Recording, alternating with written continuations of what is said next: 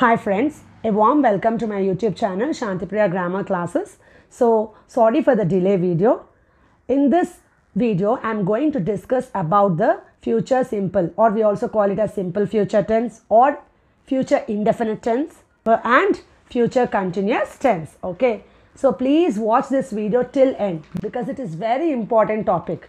So please don't forget to subscribe my channel. Those who have not yet subscribed, press the like button. Whatever doubts you have, you can put it in the comment box and share my videos. You can also follow me in Instagram and Twitter also.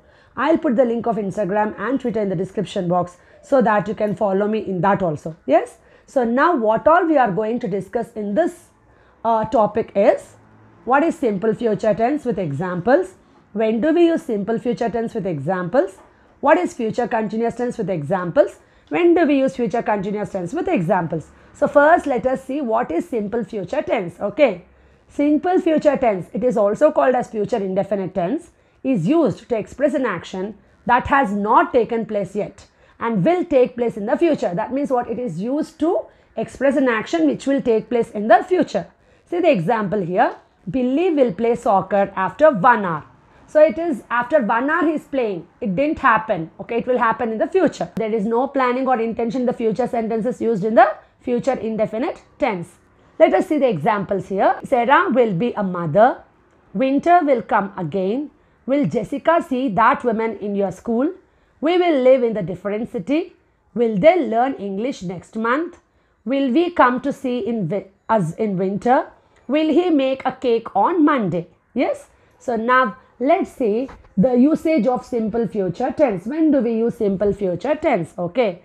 Simple future tense is used for actions decided at the moment of speech. Like if we take here, I have a toothache. I'll take some medicine. Now I have a toothache, so I will take some medicine immediately. Next, for unplanned future actions. Winter will come soon. It's an un unplanned future action. For offering, asking for a request, promising, ordering or threatening. So when you offer something or when you ask for a request or when you are promising someone or when you are ordering something or someone or when you are threatening someone. Like let us take the example. I am afraid we will get wet for unpreventable actions in future. That means what? Which will not be prevented in future. Like summer will come soon. So it will come soon. There is no prevention for that. Next, with unconditional time and purpose clauses. Like examples here, when I arrive at home, I will call you. Okay, next, for thoughts, predictions, assumptions, surenesses, fears about future. Like if I take, I promise I won't tell this to anyone. So you are sure that you won't tell this to anyone. For that also we use simple future tense. Now let's see what is future continuous tense.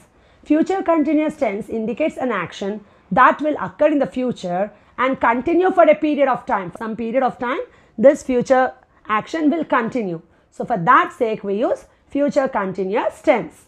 See now, like uh, examples if you see, it will be storming tomorrow. Next, it is for affirmative sentence. Next for negative sentence, it will not be storming tomorrow. Next for question, will it be storming tomorrow? Yes. Now let us see when to use future continuous tense. So future continuous tense is used to describe interrupted actions in the future. Like if you take example, when you come tomorrow, they will be playing tennis. Okay, that is interrupted action in the future. Next, to express actions in progress at a specific time in the future. That means what at particular time, what action will be taking place. Like if you take example, at 12 o'clock tomorrow, we will be having lunch at school.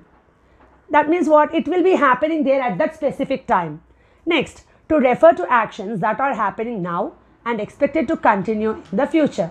Like unfortunately, sea levels will still be rising in 20 years. Okay.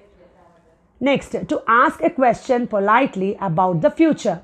Will you be bringing your friend to the party tonight?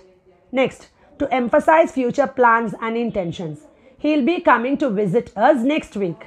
Next, to describe atmosphere in the future. When I arrive at the party, everybody will be celebrating. Some will be dancing. Next, to express parallel actions or series of parallel actions in the future.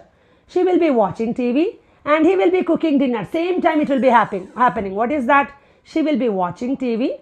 At the same time, he will be cooking dinner. Okay. So with this, I am going to end today's topic. So please don't forget to subscribe my channel. Press the like button. Whatever doubts you have, you can put it in the comment box and share my videos. I'll put the link of Instagram and Twitter in the description box so that you can follow me in that also. Thank you very much.